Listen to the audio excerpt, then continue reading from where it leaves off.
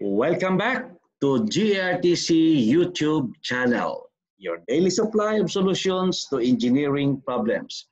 If you like what you see, please don't forget to subscribe and hit the bell icon so that you'll be notified every time we have new videos. Okay, in this video, we will continue with the reflection of cantilever beam. Okay, so yung part 1, we have uh, solved the problem using the area moment method. Okay, this time we will using it ko lang, hindi ko na mention sa part 1. Uh, yung double integration method. Ah, so after the double integration method, we will have the three moment equation and after that, using the formula. Okay? So, yun ang takbo natin. Hanggang part 4 tayo dito. Ah? So, double integration method. Okay? So, balikan natin yung beam natin. Ito yung beam natin ha.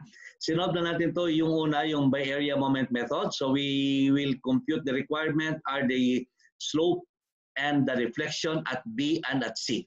So nakuha na natin yung sagot. Okay? Uh, yan. So using the area moment method. Now let's have double integration method. So hindi ko sasabihin alin dito yung mga pinakamagandang method. No? So kayo na lang mag-adjust. Mamaya uh, after we finish part 4, uh, we will decide. No? Actually, depende yan sa ano, depende sa situation. Okay? So the double integration method. Now, ano ba yung principle dito? Ah, so of course, based pa rin to sa elastic curve. Ang gagandahan ng method na to kasi yung nakukuha mo, hindi lang deflection, but equation ng elastic curve. Ito yung advantage nito. Na? Equation. So suppose we have here the elastic curve. So very important here is your origin. You have to set your x and the y-axis. Okay? you can set the origin. Normally, most students, most people likes the origin as the point of support. Okay, let's try that. Origin natin is A. Na? So ito yung ating 0, 0, ito yung X, ito yung Y, ito yung ating elastic curve. So kukunin natin yung equation ng elastic curve. Y as a function of X. Y as function of X. Okay? So ito yung principle. At any point in the elastic curve D, coordinates niya ay x and y, ito, x, y, at any point of the elastic curve.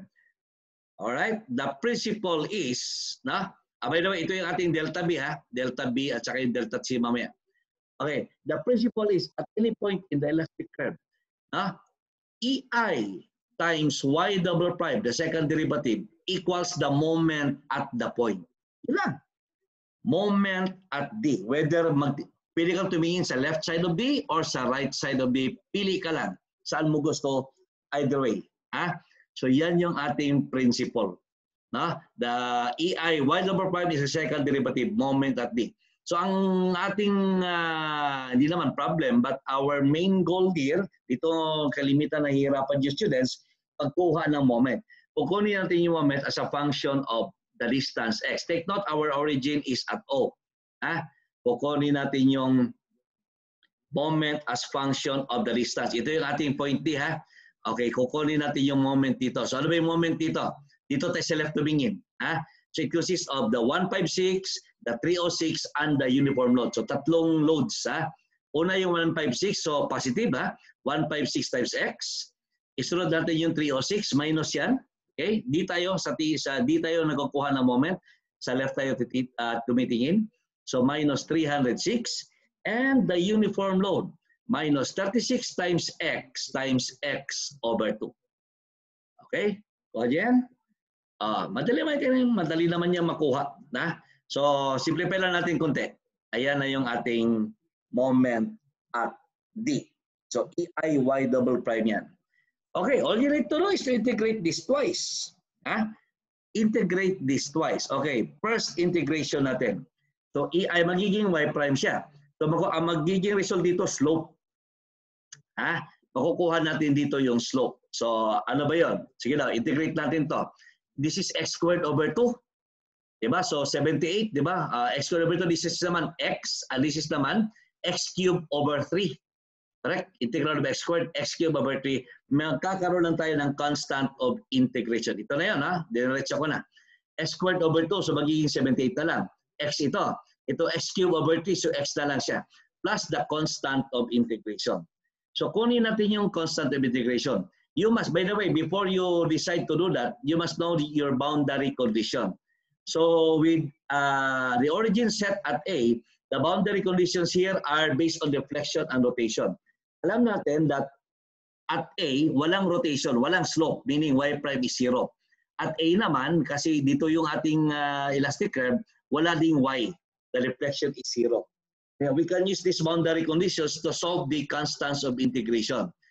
Okay, so we have here when x equals zero, the slope of the elastic curve is zero. Y prime is zero.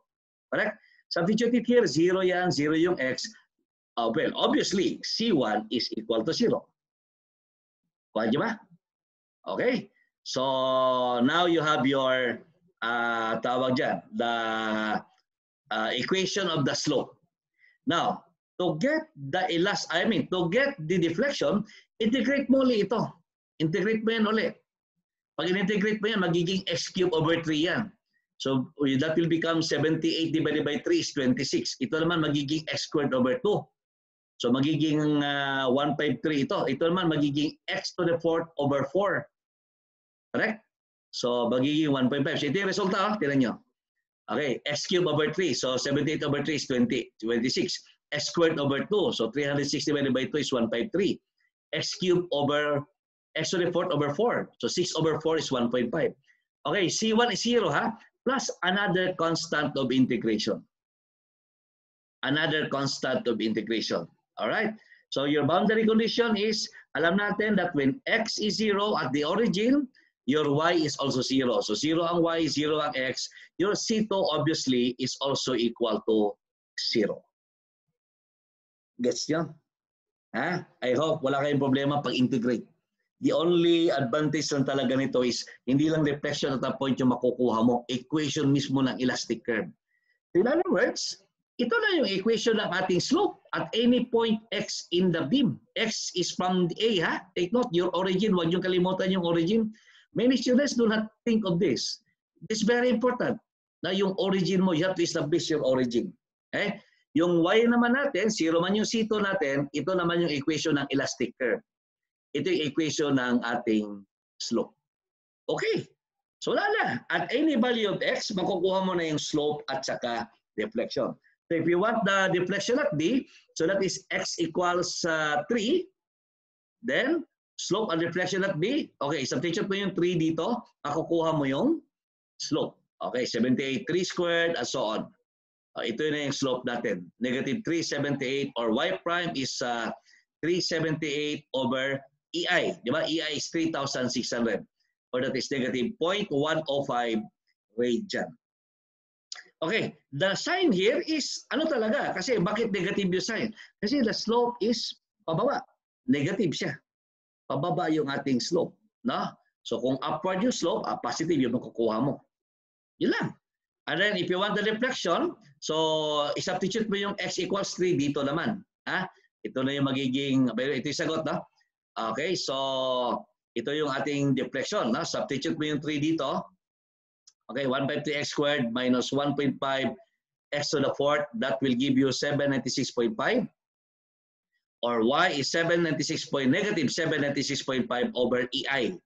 Or that's 0.2212 meter or 212.2 and that's also the reflection at B. Ito na yung rotation talaga. Rotation na yan. Ito deflection na yan sa B. Again, negative. Bakit negative? Kasi below the origin. Ito yung origin natin, no? Ito yung origin natin. O, level ng origin. Y is below the origin. Okay. So, at C. How about at C? O, madaling madali. Your X is 2. The same manner, 2 lang yung ilagay natin sa value. Ha? Okay, I think you can easily check this one. So, 2 yung ating X. Makukuha natin yung Y prime. That is also already your theta C. And then 2 yung x, lagay mo dito, makukuha mo yung deflection. Uh, yun ang maganda dito. Kahit, kasi kahit halimbawa, at x equals sa, sa gitna, 1.5, diretso na. Wala na, no sweat. No? Madali mo na siyang makuha. Okay? Makuha nyo. Now, tanong, Sir, pwede ba mag-origin tayo sa B? Actually, pwede. No? Subukan natin. Subukan natin. What if you chose B as your origin? Tingnan natin ha. So buka natin siya. Ito yung elastic curve natin. Yan yung origin natin. Ha? Ito yung zero ko ha. Pero gawin ko lang dito, hindi ko lang ine-negative yung left. Pa left, positive. Ha? Negative papunta doon. Positive tayo. You, you can change that. Walang problema. Okay? So positive tayo. So yun. So you then at any point D in the elastic curve, the distance is x from the origin and y yan, from the origin. Okay? So kukunin natin ngayon yung ating uh, tawag dyan, no? yung ating moment. So this time, tingin tayo sa kanan. Ah? So at any point, EI Y double prime is the moment to the right of D. Pwede ka rin tumingin sa left, pero maganda sa right kasi dalawang load lang ang involved. So tila, what are the moments to the right of D? Take note, ito yung x mo ha. Ito yung x natin. Ha? Ito yung x. So we have negative 48 moment to the right. Okay? So negative 48 times x minus 36 times x times x over 2. Or that will be negative 48x minus 18x squared. Okay? So integrate natin una. So this will become x squared over 2. So magiging negative 24. Ito naman ay x cubed over 3. So magiging 6. Yun. Plus C1. Now, ano yung boundary? By the way, ano ba yung boundary condition natin dito with this as your origin? Okay, when x is 0, y is 0? Hindi ha? Hindi y is 0 when x is 0. Hindi, oh, dito yun. When x is 0, y prime is 0. Hindi. Nandito yung y 0 and y prime 0. So that is when x is 3, 3 ha, positive 3. I will let I will have the uh, x going to the left as positive. When x is 3, y prime is 0 and also y is 0. That's your boundary condition. Okay? So when x is 3, y prime is 0, substitute that here. So ito yung magiging resulta niya. 0, okay, 3, ganon. Okay, makukuha mo yung C1. 3, 7, 8. So ito yung ating equation ng slope. So, unlike kanina, zero kanina yan. Zero yan kanina. Na? Okay. So, ito naman, another boundary. Uh, integrate na naman natin ulit yan. So, next integration. So, we have, this will become x cubed over 3. No? Ito naman, magiging x to the 4th over 4. Uh, ito na magiging resulta. Ha? Check na lang. x cubed over 3. So, magiging 8. x to the 4th over 4, 1.5. 378. Meron tayong C2. Again, the boundary condition is when x equals 3, y is 0. I hope nakuha nyo ha. Yung iba nasanay kasi, ah, when x is 0, y is 0. Ah, eh, depende yan sa origin mo. Kanina, tama kasi yung A yung origin natin. Dito, hindi. Ha? Okay, I hope nakuha nyo. This is really about equation. Okay, substitute this condition here, then ito yung magiging resulta. Masosolve natin yung C2. By the way, kung napansin nyo, ha? Pasinin niyo to, yung value ng C1 and C uh, yung actually yung value ng C1, yun yung slope at the origin. Yung value naman ng C2, yun yung deflection at the origin. Kaya dito since our origin has deflection, kaya meron tayong C2. Since the origin has a slope, kaya meron tayong C1. Napansin niyo kanina wala tayong C1 at saka C2, 0. Pasinin niyo, panoorin niyo ulit yung video. Ha? paano i-rewind niyo yung video. Okay? I can, maybe I can do that fast.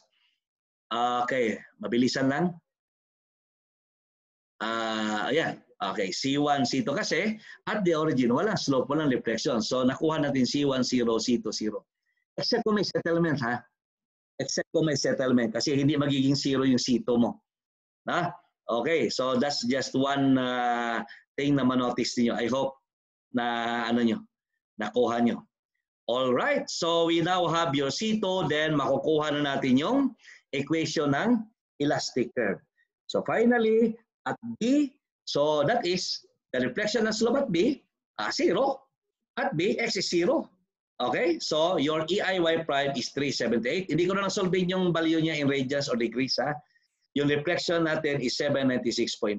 Hindi ko na lang sosolve in, in mm. Anyway, pareho yan kanina. Na napansin nyo, bakit positive yung EIY prime? Bakit positive yan? Kanina negative yan. Okay, kasi binaliktad natin yung ating positive. Ginawa natin dito, kaya yung slope going on that direction is positive.